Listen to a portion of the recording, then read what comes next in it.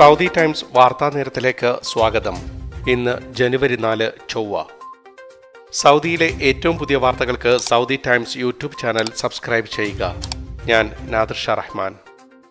സൗദിയിൽ മണിക്കൂറിൽ നൂറിലധികം പേർക്ക് കോവിഡ് ബാധിക്കുന്നതായി റിപ്പോർട്ട്.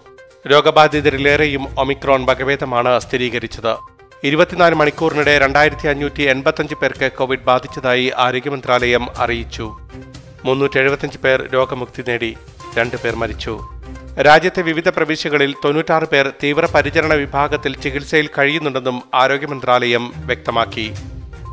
സൗദിയിൽ കോവിഡ് ബാധിതരുടെ എണ്ണം വർദ്ധിച്ചു വരുന്നത് സൂക്ഷ്മമായി വിശകലനം ചെയ്തു വരികയാണെന്നും ആരോഗ്യമന്ത്രി ഫഹദ് അൽ ജലാജിൽ. വരും ദിവസങ്ങളിൽ കോവിഡ് വൻതോതിൽ വ്യാപിക്കാൻ സാധ്യതയുണ്ടെന്നും ആരോഗ്യമന്ത്രി പറഞ്ഞു. കോവിഡിന്റെ ജനിതകമാറ്റം സംഭവിച്ച വൈറസിനെ പ്രതിരോധിക്കാൻ വാക്സിൻ ഫലപ്രദമാണ്. വാക്സിൻ സ്വീകരിച്ചവർക്ക് വൈറസിന്റെ തീവ്രതയും രോഗലക്ഷണങ്ങളും കുറവാണെന്നും ആരോഗ്യമന്ത്രി പറഞ്ഞു. അതിനിടെ സൗദിയിൽ കോവിഡിനെതിരെ കൂടുതൽ ജാഗ്രത വേണമെന്ന് പബ്ലിക് ഹെൽത്ത് അതോറിറ്റി ആവർത്തിച്ച് ആവശ്യപ്പെട്ടു. പ്രതിദിന കോവിഡ് രോഗികളുടെ എണ്ണം രണ്ടായിരത്തി അഞ്ഞൂറ് കടന്ന സാഹചര്യത്തിൽ കോവിഡ് പ്രോട്ടോകോൾ കർശനമായി നടപ്പിലാക്കും. റിയാദ് ജിദ്ദ മക്ക എന്നീ നഗരങ്ങളിലാണ് ഏറ്റവും കൂടുതൽ കോവിഡ് കേസുകൾ റിപ്പോർട്ട് ചെയ്യുന്നത്. വ്യാപാര കേന്ദ്രങ്ങളിലും ബസ് യാത്രകളിലും കോവിഡ് പ്രോട്ടോകോൾ നിർബന്ധമായും പാലിക്കണം. മുൻകൂട്ടി ടിക്കറ്റ് എടുത്തവർക്ക് മാത്രമാണ് ബസ്സിൽ പ്രവേശനം.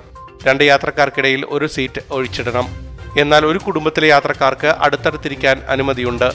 മസാജ് കേന്ദ്രങ്ങളിൽ മാസ്ക് ധരിക്കുകയും സാമൂഹിക അകലം പാലിക്കുകയും വേണം. ഹെൽത്ത് ക്ലബ്ബുകളിലെ സ്റ്റീം റൂമുകളിൽ ഒരേ സമയം ഒന്നിൽ കൂടുതൽ ആളുകളെ അനുവദിക്കരുതെന്നും പബ്ലിക് ഹെൽത്ത് അതോറിറ്റി അറിയിച്ചു. സൗദിയിൽ കർഫ്യൂ ഏർപ്പെടുത്താൻ ആലോചനയില്ലെന്ന് ആരോഗ്യ മന്ത്രാലയം വക്താവ് ഡോക്ടർ മുഹമ്മദ് അബ്ദുൽ അലി. ഇത് സംബന്ധിച്ച് സാമൂഹിക മാധ്യമങ്ങളിലെ പ്രചാരണങ്ങൾ അടിസ്ഥാനരഹിതമാണെന്നും അദ്ദേഹം പറഞ്ഞു. വാക്സിനേഷനും ബൂസ്റ്റർ ഡോസും സമൂഹത്തിൽ പ്രതിരോധശേഷി വർദ്ധിപ്പിച്ചിട്ടുണ്ട്. കോവിഡ് ബാധിച്ച് ചികിത്സയിൽ കഴിയുന്നവരും മരിച്ചവരും വാക്സിൻ സ്വീകരിക്കാത്തവരാണ്. ബൂസ്റ്റർ ഡോസ് എടുത്തവർ മികച്ച പ്രതിരോധശേഷി കൈവരിച്ചവരാണ്.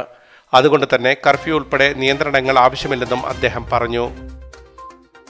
അയൽ രാജ്യങ്ങളിൽ നിന്ന് സൗദി വഴി കടന്നുപോകുന്ന ചരക്ക് ലോറികളുടെ നിയമലംഘനങ്ങൾക്കെതിരെ പൊതുഗതാഗത അതോറിറ്റിയുടെ മുന്നറിയിപ്പ്. രാജ്യത്തെ ചരക്ക് വാഹനങ്ങൾക്കുള്ള മുഴുവൻ നിയമങ്ങളും അയൽ രാജ്യങ്ങളിൽ നിന്നെത്തുന്ന ട്രക്കുകൾക്കും ബാധകമാണെന്ന് അതോറിറ്റി അറിയിച്ചു. സൗദി വഴി കടന്നുപോകുന്ന ചരക്ക് ലോറികൾക്ക് ഇലക്ട്രോണിക് ട്രാൻസ്പോർട്ട് ഡോക്യുമെന്റ് ആവശ്യമാണ്. ചരക്ക് നീക്കവുമായി ബന്ധപ്പെട്ട നിയമങ്ങൾ രാജ്യത്തേക്ക് പ്രവേശിക്കുന്ന ട്രക്ക് ഡ്രൈവർമാർ കർശനമായി പാലിക്കണം.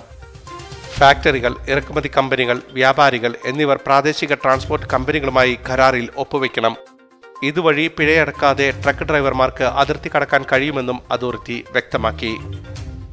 കിങ് സൽമാൻ ഹ്യൂമാനിറ്റേറിയൻ എയ്ഡ് സെന്ററും സൗദി ബേസിക് ഇൻഡസ്ട്രീസ് കോർപ്പറേഷനും ഉഭയകക്ഷി സഹകരണം വർദ്ധിപ്പിക്കുന്നതിന് കരാർ ഒപ്പുവെച്ചു.